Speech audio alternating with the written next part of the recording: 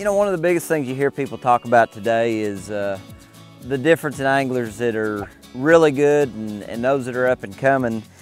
A lot of people can catch them, but finding them is really the hardest thing out here that we face every day. And one of the biggest things that I look back on throughout the course of my career is there's one thing that I can always depend on just about anywhere I go across the country is points and fishing points. Probably one of the biggest things I do no matter if I'm cranking, throwing a jerk bait, throwing a spinner bait, throwing a football jig. If you fish enough points through the course of the day, you're finally gonna run into them. And there's not an easier way to cover water than just start running points up and down a lake. I mean, so many points are so different. I mean, you'd think a point's a point and it really doesn't matter, uh, you know, what's going on, but it really does matter. I mean, some of the points are long and flat.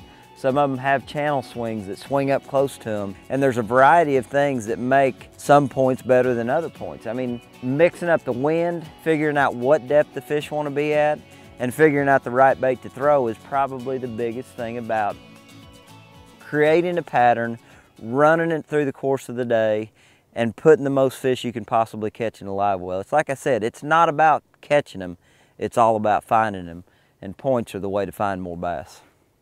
There's a lot of days I'll take off running down a lake looking for wind, chasing wind, and you'll be running down a lake and all of a sudden maybe you see some seagulls diving on a point or maybe you see a heron sitting on the bank. I mean, those are the things that make a difference. I may run down a lake and if I see a heron sitting on a, on a point, I'm gonna stop and fish that point. I may only fish right there where that herring is, but he's not there just to be there. He's there because he knows bait's there. If there's herring there, there's gonna be bass there. Even if you don't catch him, you can run that pattern a number of times and it's gonna make a difference.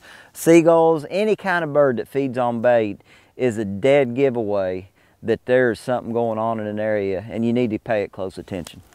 One of the biggest things you have to understand about points is really all points aren't created equal. I mean, there's definitely those points that day in, day out produce fish, but probably one of the biggest keys that I'm gonna look for is a point that has deep water coming up close to it. And that's one of the biggest keys that I'm looking for is, is deep water close to a point. And I mean, if you look right here, I mean, and, and it doesn't necessarily have to be a visible point that you're throwing to the bank. A lot of times it's an underwater point, but right here, I mean, it's just clear as a bell that you've got a deep water little channel, a gut coming out of the back of this pocket that swings up close to this point right here. And that's one of the key places to catching them. Anytime you see those tight contours and you see things tighten up and you've got a good hard drop, those are the key places that you're gonna catch more fish like I said, whether you're cranking, spinner baiting, throwing a jig, it's all gonna come down to finding that little sweet spot on any point you happen to find.